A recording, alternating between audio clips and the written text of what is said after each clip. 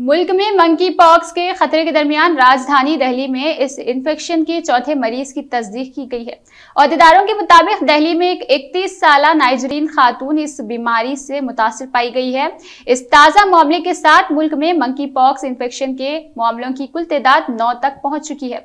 मुल्क में monkey pox virus से मुतासर पाए जाने वाली ये पहली खातून है। जराये ने बताया कि इस खातून को बुखार और जिसम पर चकते हैं और इसे लोकनायक जिसे जयप्रकाश अस्पताल एल एलएनजेपी में दाखिल कराया गया है। खातून का नमूना टेस्ट के लिए भेजा गया था, जिसका नतीजा मुस्बित पाया गया है। जराये ने बताया कि इस खातून की ट्रेवल हिस्ट्री का अभी तक पता नहीं चला है। दरियासनाथ दिल्ली में मंकी पॉक्स के पहले मरीज़ को पीर के रोज एनजी अस्पताल से डिस्चार्ज कर दिया गया था। मंकी पॉक्स से निपटने के लिए दिल्ली के कुछ अस्पतालों में सत्तर आइसोलेशन कमरे बनाए गए हैं।